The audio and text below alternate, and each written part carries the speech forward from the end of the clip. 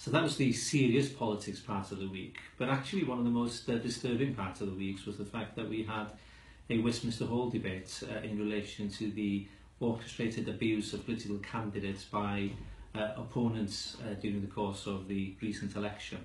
And while some people are trying to claim that this is something that happens to all candidates, uh, there is little doubt that the upsurge in intimidation, in abuse of candidates has happened primarily uh, since the election of one Jeremy Corbyn as leader of the Labour Party.